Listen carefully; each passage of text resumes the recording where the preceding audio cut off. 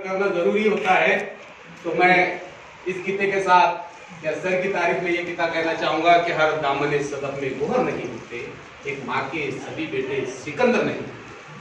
हर दामने सदफ में गोहर नहीं होते, एक माँ के सभी बेटे सिकंदर नहीं होते। सिकंदर की तरह सबके मुकद्दर नहीं होते और सब लोग मुकद्दर के सिकंदर नहीं होते।